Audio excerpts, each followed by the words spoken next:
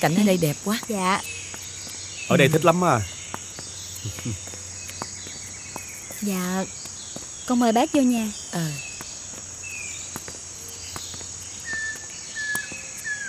Con mời bác ngồi để con đi tìm ba ừ, con. ừ.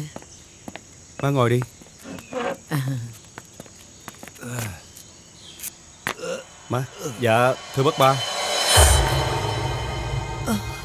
Mấy người đi tới đây tìm ai à? Ừ.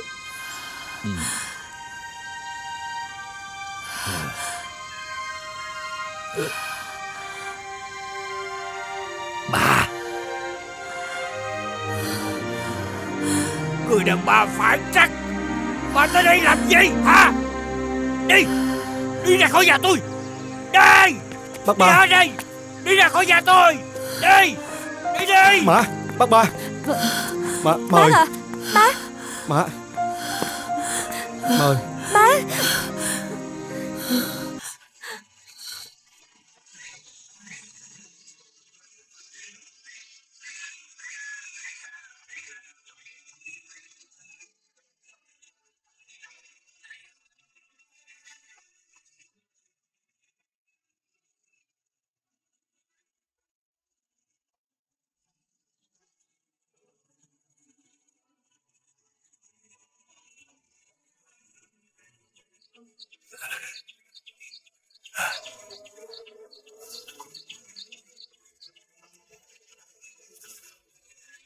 Tại sao?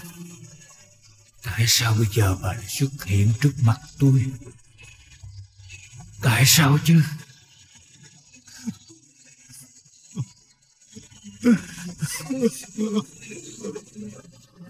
Má ơi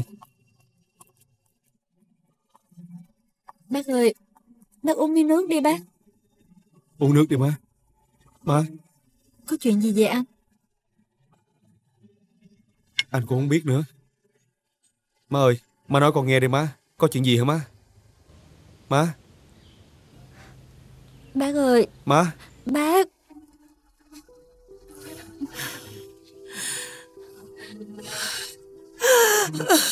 Má. Má ơi. Bác Má. à Sao vậy má?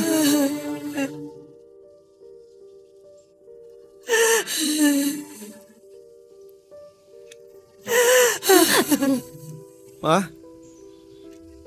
Má sao vậy? Là con gái của tôi đây rồi. Cái gì? Con gái của tôi đây rồi. Má?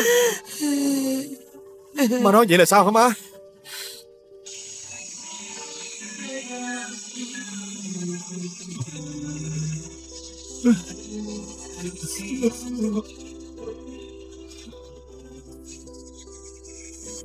Con cảm ơn ông trời.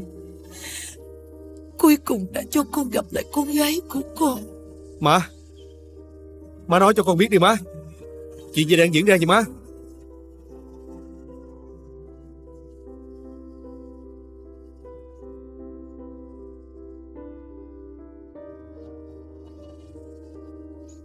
Của Trúc Trà. Và má, Từng là vợ chồng của nhau. Trúc Trà chính là Chính là con gái ruột của má và ông ấy.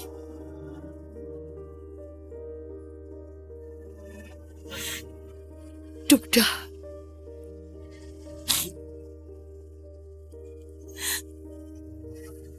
Má là má ruột của con đây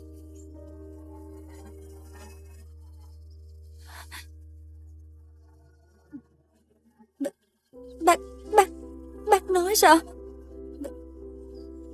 Bác là má ruột của con hả?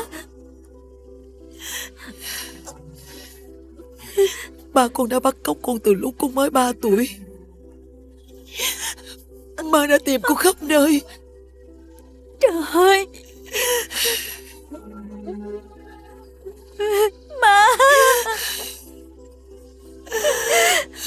Trời ơi.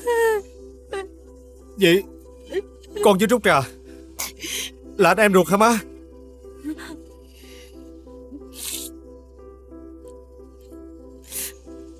Má sẽ kể cho hai đứa nghe một câu chuyện. Một quá khứ đau buồn. Mà má đã giấu kín từ bấy lâu nay. Tên thật của má thời con gái là Ngọc Lan. Ma sinh trưởng trong một gia đình thượng lưu ở Sài Gòn. Ngọc Lan là một tiểu thư cành vàng lá ngọc. Mong manh và yếu đuối. Ông bà ngoại con kinh doanh vàng bạc. Bà ngoại con xuất thân từ một gia đình quý tộc thuộc dòng dõi vua Ai chúa. Cho một kẻ nghèo kiết xác như cậu Cậu đi ra khỏi nhà tôi ngay lôi nó ra ngoài. Dạ Con lại đi ông đi. bà Con lại ông bà cho con ở lại đây Dạ. đi. Con lại ông Đi ra đi bà. mà. Kể từ ngày hôm đó Ba má quyết định bỏ trốn cùng Em nhau. có dám bỏ trốn cùng anh không? Được. Em đi với anh. Em thương con từ khi Biết là bất hiếu với cha mẹ Nên việc em bỏ đi Nhưng tình yêu mãnh liệt của hai con người Chắc khiến bà họ bất chấp. Má và ông ấy trốn về một làng chài ở ven biển. Tụi mình có lỗi rất nhiều với ba má. Rồi sau đó Một ngày nào Má đó mang thai trúc trà Anh sẽ đưa các con về. Tạ lỗi với ông bà ngoại. Đặt con tên là Thanh Trúc. Không hiểu tại sao ba con lại đổi tên con lại là Trúc Trà.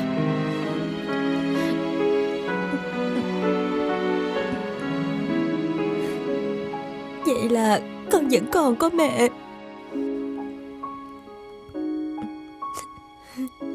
Từ nhỏ đất thèm hơi ấm của người mẹ. Con ao ước được gọi một tiếng má.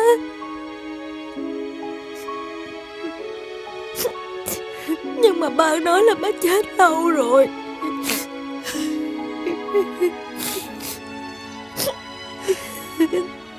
Hèn chi, Trên bàn thờ không có di ảnh. Đúng vậy. Bác ba. Đã chết từ lâu rồi. Ông đúng là tàn nhẫn và ích kỷ. Bây giờ bà đi khỏi nhà tôi. Không tôi không muốn nhìn thấy mặt bà ở đây nữa. Tôi không đi đâu hết. Được Nếu ông muốn tôi đi Với một điều kiện. Ông trả con gái tôi lại cho tôi. Bà đâu có xứng đáng là mẹ của nó đâu. Bà đi về với thằng con trai của bà đi. Trời ơi Chuyện gì đang xảy ra vậy Má đây tôi không muốn thấy cái gương mặt phản bội của bà trong căn nhà này nữa. Đây! Ông chỉ biết kệ tội tôi Mà không nghĩ tới hoàn cảnh của tôi lúc đó. Ông đã nhẫn tâm bất công đứa con gái của tôi. Tôi đã ròng rã đi tìm con. Ông thật là độc ác. Bà đừng có lấy nước mắt ra để mà dọa tôi. Tôi nói bà đi. Bà đi liền đi Ba Tôi không rời xa con gái tôi nữa. Ông có biết là tôi sống trong dằn vặt đau khổ mấy chục năm Ông có biết không? Ông đã tước đi cái quyền làm mẹ. Và đứa con gái mà tôi đã đứt ruột sanh ra. Má. Má ơi Vậy con với Trúc Trà Là anh em cùng mẹ khác cha sao? Không Không thể như vậy được. Không thể như vậy được má ơi Hiếu. Anh Hiếu. Hiếu. Anh Hiếu. Hiếu à.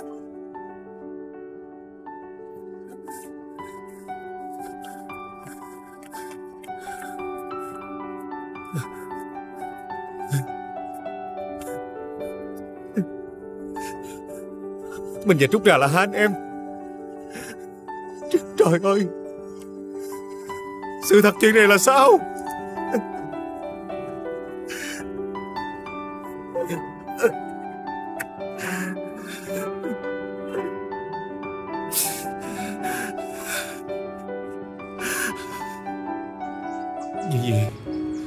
và Trúc Trà không thể đến với nhau.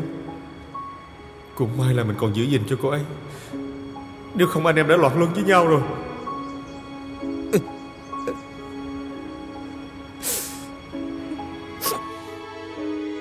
Con gái của má Má đã tìm con rất lâu rồi. Giờ thì má đã gặp lại con.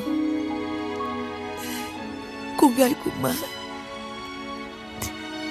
con không ngờ mình còn có một người mẹ. Chọn đi. Có ba thì không có bảy.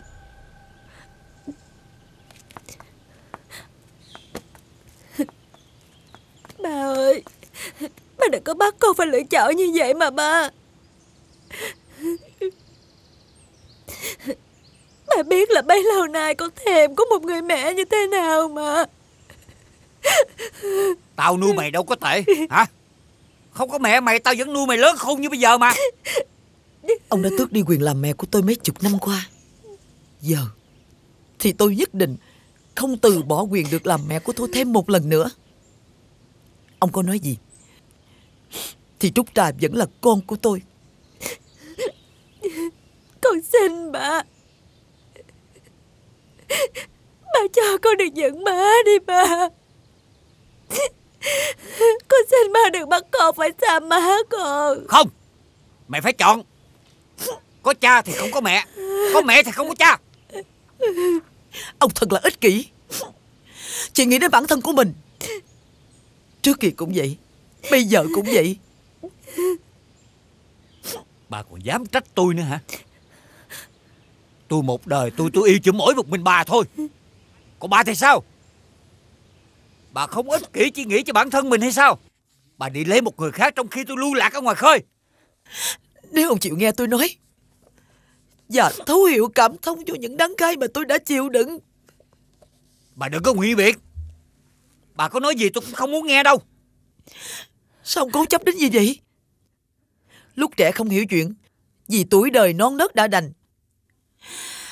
Nay đã sắp tới cái tuổi gần đất xa trời Mà ông vẫn bướng bỉnh vì kỹ là sao? Tôi không nói chuyện với bà nữa. Trúc Trà Con chỉ có quyền chọn một trong hai thôi. Nghe chưa? Chọn đi. Con Con đừng lo. Rồi ba con sẽ nghĩ lại thôi. Đừng lo nghe con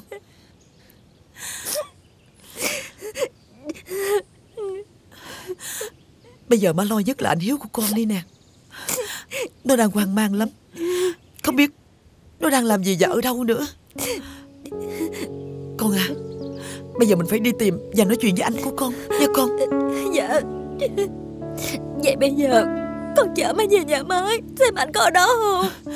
Đi đi con Đi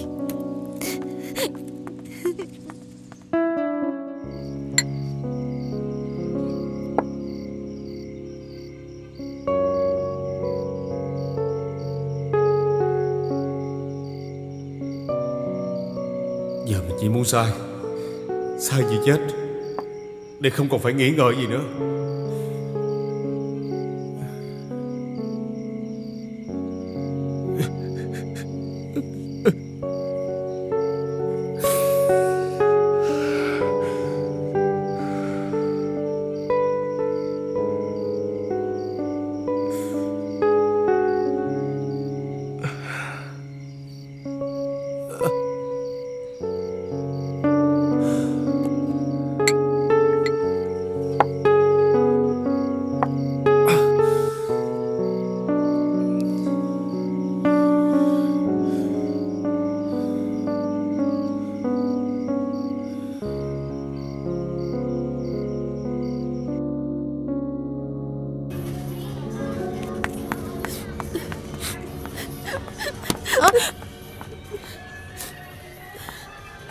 Sao em khóc vậy? Em không có đi khách mà người ta bắt ép em hoài. Trời đất ơi Mà Con kia Mày làm cái gì mà để phật lòng khách tao vậy hả? Nè Nó không đi khách là đúng quy định của quán rồi. Sao má lại ép nó chứ? Má quên Nhưng mà con kia Mày mới vô làm hả mày?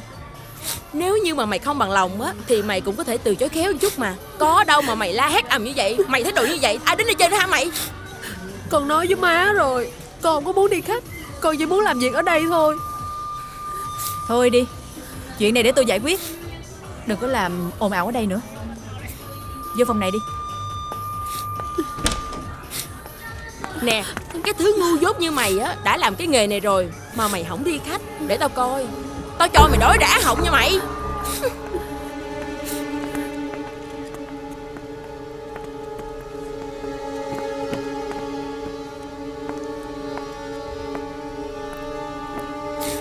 Em ngồi xuống đi.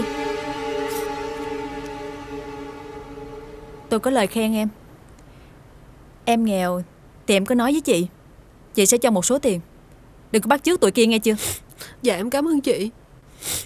Em thấy sao? Cuộc đời mình muốn ngoi lên Mà nó dùi dập em lên không nổi chị ơi. Không có ai hiểu cho em hết. Người ta nói Mình đạo đức giả Chảnh chẹ. Cuộc sống là như vậy mà em Ai cũng có lần lầm lỡ hết. Quan trọng là mình có thể đứng lên được hay không thôi. Còn bây giờ thì ờ, tùy em. Em không muốn làm nữa Thì tôi sẽ cho em một số vốn Đi về quê mà kiếm việc khác làm. Dạ em cảm ơn chị. Ê Đâu có dễ dàng vậy con kia. Mày muốn ra khỏi cái quán này á Người quyết định là tao nè Chứ không phải là bà chủ đây. Còn năm mươi mấy triệu mày mượn tao từ cái ngày mày vô đây làm Mày chưa trả cho tao một đồng xu cắt bạc nào hết. Bây giờ mày muốn biến hả? Trả đi rồi biến Con đã trả cho má nhiều rồi mà. Trời đất ơi! Lúc nào mày? Mày đừng có nghĩ á cô chủ ngồi ở đây rồi mày lẻo mồm lẻo mép. Mày muốn nói thêm nó bớt gì mày nói nha mày. Thì mỗi lần con được tiền bo nhiều của khách Con đều chia cho má phân nửa rồi còn gì? Trời Trời ơi con này mắc cười ghê. Nè Tiền đó là tiền thơm tiền thảo. Tao phải dắt mày vô bàn Thì mày mới có khách mày có tiền. Đúng không? Chưa đủ tiền lời của tao nữa nha mày. Thôi đi Không có cãi nhau ở đây nữa Mấy cái chuyện này có hay ho gì đâu mà đem ra bêu ríu vậy hả? Bây giờ Con bé này nó thiếu má bao nhiêu Tôi trả hết. Còn em Muốn làm nữa thì ở lại làm. Còn không Thì thu xếp đồ Đi về quê đi. Tôi sẽ nói với quản lý quốc Thanh lý hợp đồng cho em. Trời ơi con Con làm như vậy rồi tự tiện giải quyết như vậy Thì tụi nó coi má ra cái gì nữa? Con đừng có phải lo để má giải quyết cho con Tôi đã đi. nói chuyện này tôi giải quyết Tôi không phải như ngày xưa nữa. Muốn làm gì thì làm. Đi làm việc của mình đi.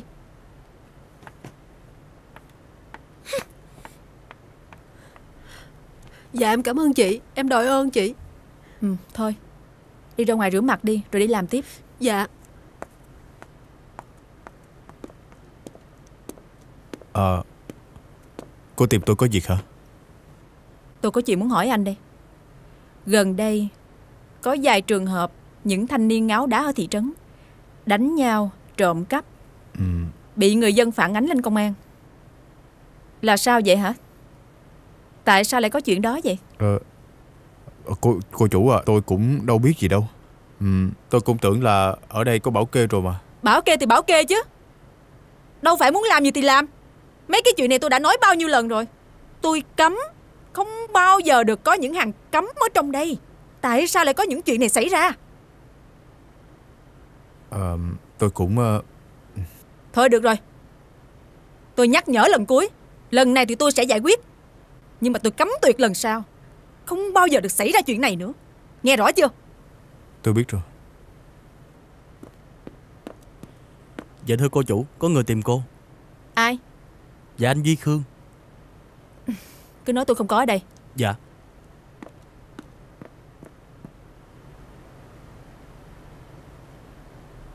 Đi làm việc của anh đi.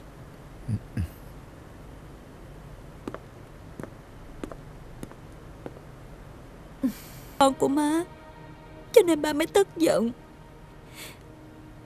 Nhưng mà Tại sao bà lại không cho con biết điều này? Bây giờ ba rất là lo lắng cho anh Hiếu của con. Có lẽ Nó rất là sốc. Con biết không Giờ Anh Hiếu con rất thần tượng về má. Nó đã không biết gì về quá khứ của má. Con... Ai vậy? Dạ con quý này bác ơi.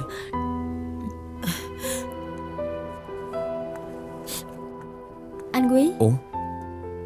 Trúc Trà Dạ con chào bác. Em có thấy thằng Hiếu đâu không? Ừm, Em Quý Bác nhờ con chút việc nè con. Ừ. Dạ. Ừ. Có chuyện gì sao hả bác?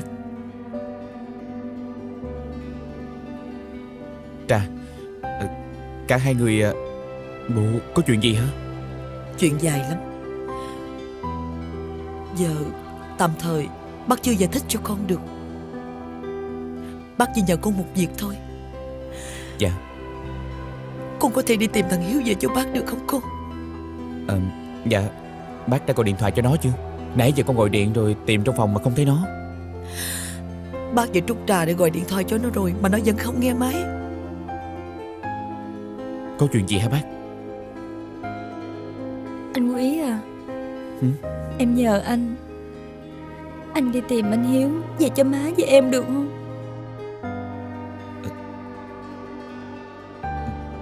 Má.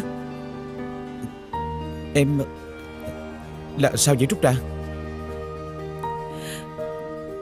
Huy à Trúc Trà Chính là con gái ruột của bác. Hả?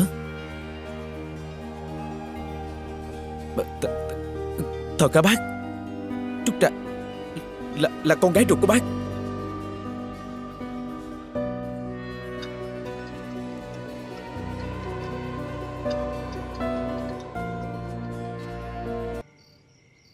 Tao nghe nè. Mày đang ở đâu vậy? Mày có biết á Là bác gái với Trúc Trà Đang tìm mày hay không? Giờ tao không muốn gặp ai hết. Tại sao vậy? Mày nói đi. Mọi thứ cứ quay vòng vòng. Tao không biết phải làm gì nữa. Tao cũng biết là mình đang ở chỗ nào trong cõi tạm này nữa. Tao thật sự là không biết chuyện gì đang xảy ra với mày. Tao chỉ biết Trúc Trà là con gái ruột của má mày Nhưng mà chuyện này rốt cuộc là sao vậy Hiếu? Tao cũng không biết nữa. Người cứ như bơi trong không gian. Không một chút trọng lượng nào hết. Nói gì thì nói. Mày cũng phải về gặp má mày đi. Tao thấy là bác gái với Trúc Trà khóc dữ lắm. Thôi Giờ tao không muốn gặp ai hết. Để cho tao yên tĩnh chút xíu đi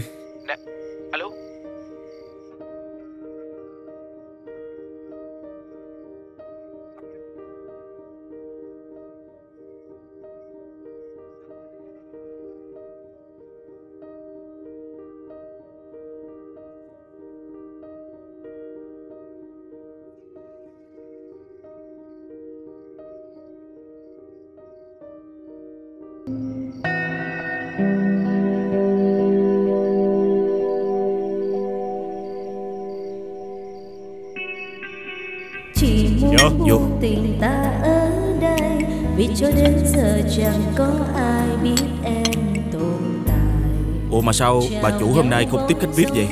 Ờ Em có gọi nhưng mà chưa chưa để bàn câu chuyện. Chưa tới đây được. Mà nè Dạ? Cậu nhớ chuyển lời với bà chủ á Phải cẩn thận hơn. Đừng có làm quá lộ liễu. Cấp trên Đang để ý tụ điểm này rồi đó. Dạ Em sẽ báo lại. Nhưng mà đã có anh rồi Cần gì phải lo chứ. Nói vậy đâu có được. Tiền á tôi nhận hàng tháng cũng không bao nhiêu Xảy ra chuyện là tôi mất chức. Coi như là cả đời này thanh xuân tôi cống hiến.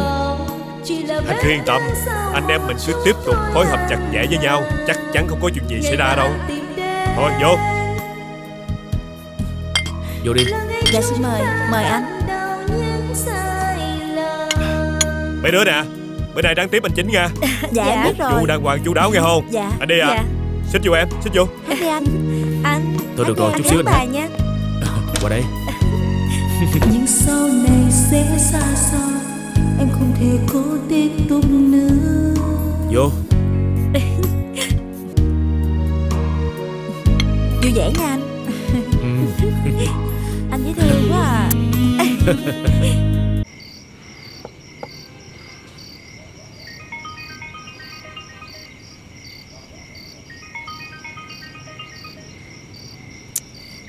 Sao mà dai như đĩa vậy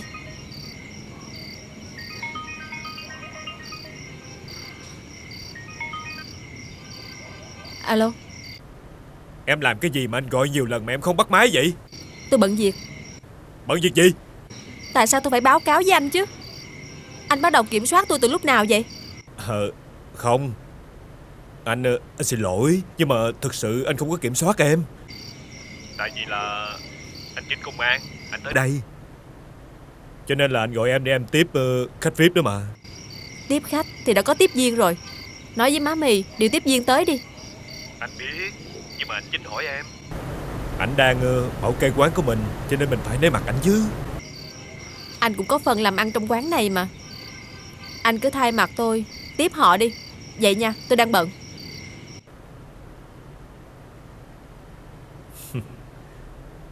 Để coi em từ chối Kiếm chuyện với tôi tới khi nào?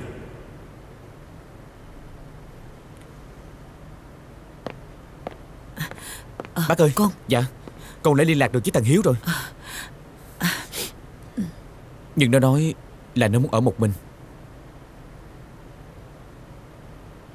Thôi được rồi Cứ để cho nó một mình đi. Ngày mai bác sẽ nói chuyện với nó sau. Trúc Trà Giờ con đi về đi. Về coi ba con ra sao rồi. Còn má thì sao? Ở đây á Má có út mót rồi Chứ có kỳ quý nữa Không sao đâu con. Em cứ yên tâm đi. Má à Con chỉ muốn được ở gần má thôi. Má cũng vậy. Má hứa Sẽ không bao giờ rời xa con một lần nào nữa. Ngày mai Nhất định má phải đến nói chuyện phải quấy với ba con. Con về nha má. Má có số điện thoại của con rồi á. Có gì má cứ liên lạc với con nha. Ừ Ngày mai con dạy xong Con sẽ tới đây với má. Quý à? Dạ. Bác nhờ con đưa Trúc Trà về. Một mình nó đi trên đường vắng không có nên. Dạ bác yên tâm đi. Để con đưa Trúc Trà về. Má nghỉ ngơi đi. Ừ, Nếu con liên lạc được với anh Hiếu Con sẽ báo cho má biết liền. Ừ. Về đi con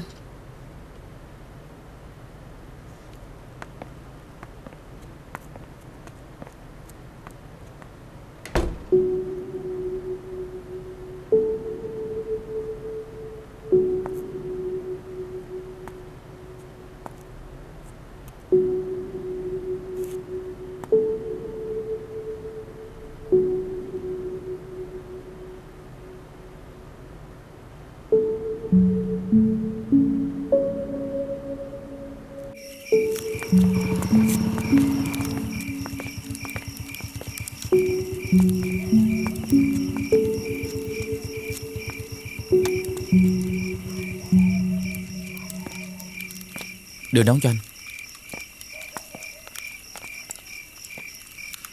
Trúc Trà này Em vô nhà đi. Anh Quý à Em nhờ anh chăm sóc má em giùm em nha. Anh biết rồi. Nhưng mà Chuyện này là sao vậy? Anh thật sự không hiểu Tại sao má cô Hiếu Lại là má ruột của em.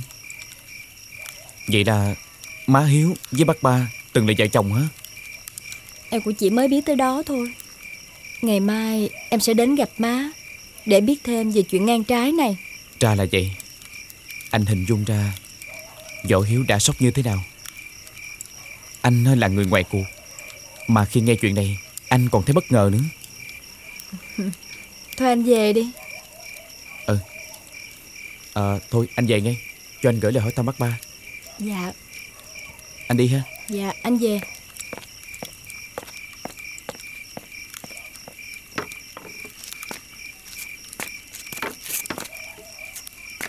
con đi luôn đi. Hả? Con cần má. Nhưng con không thể nào bỏ ba một mình được. Ba không bao giờ tha thứ cho bà ta. Chuyện xảy ra đã lâu lắm rồi. Sao ba còn để bụng vậy? Hãy tha thứ Để sống thanh thản hơn chứ ba. Con không biết cái gì hết thì con đừng có nói. Bà ấy đã đâm một nhát vào đây. Trái tim bà đã chết Kể từ khi bà ấy bỏ đi. Có lẽ trong chuyện này Còn nhiều quẩn khúc mà ba chưa hiểu. Vì con thấy má là người có tư cách Đạo đức. Ba Có khi nào ba nghĩ quan cho má không? Cái tội phản bội chồng con là cái tội tài trời. Không có một lý do nào có thể biện minh cho người đàn bà thay lòng đổi dạ hết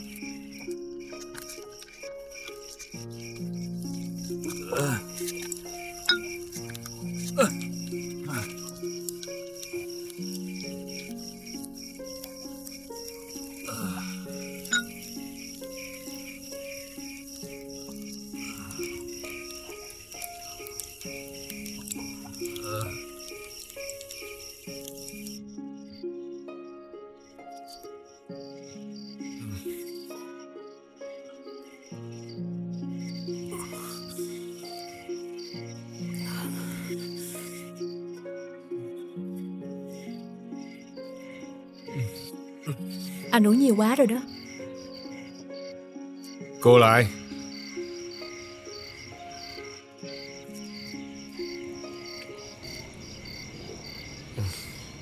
Em sẽ uống với anh.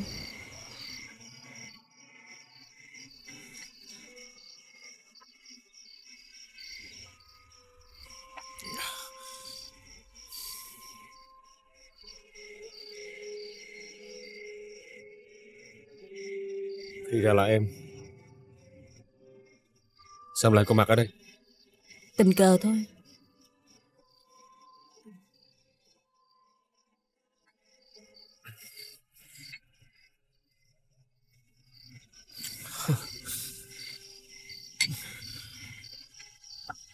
Anh uống đi.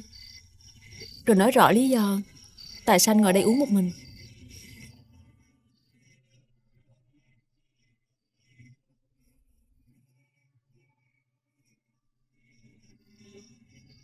Anh với Trúc Trà đã chấm hết rồi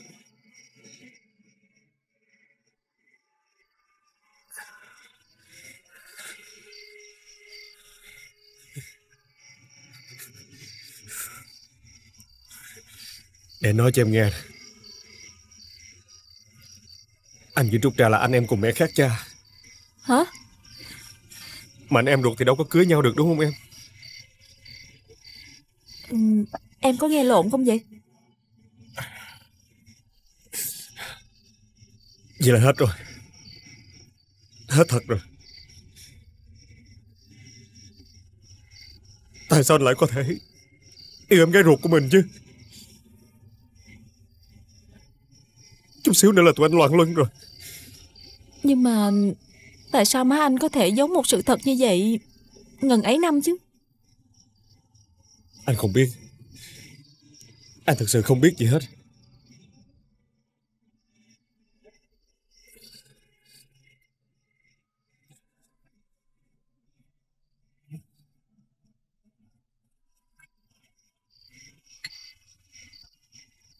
Chúc mừng anh.